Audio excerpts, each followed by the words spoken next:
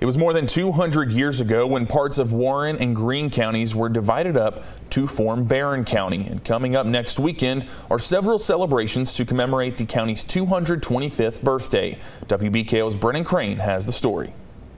Well, the fun has already started here in Barren County as the county is preparing for its 225th birthday celebration. They're calling it the Quasqua Bicentennial Celebration. Event organizers have been working on this for over a year now. We're trying to bring together the whole county.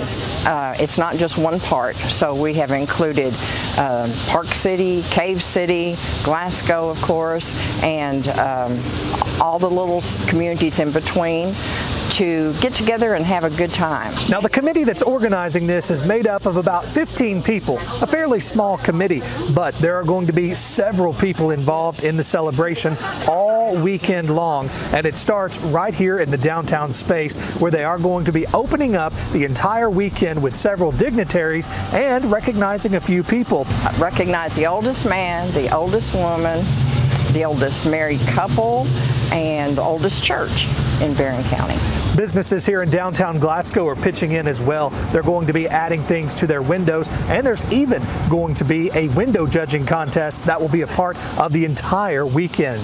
It's just a crazy busy world, and people don't have time to go to meetings, and so we've got all, you know, many of the businesses and churches and organizations and the clubs are taking just one event, and they're completely doing it. All the details, providing the prizes, providing the money, and making the rules and we're counting on them and they'll come through.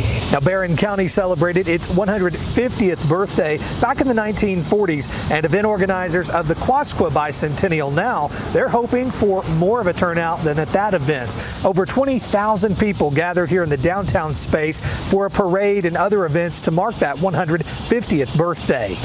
We will consider it a, a success if everybody's smiling and happy and thankful and uh, everybody just had a, had time to be together, spend time together. Now the whole weekend is going to finalize on that Sunday, September 10th, and they're going to be doing a number of events then. Gospel singing, a community-wide church service, and then finally the evening will end with the sealing of a time capsule that they're going to stow away for several more years to come.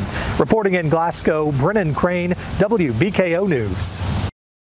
And a complete schedule of events can be found on Facebook by searching Barren County Quasqua Bicentennial Celebration, say that five times fast, or on our website, WBKO.com.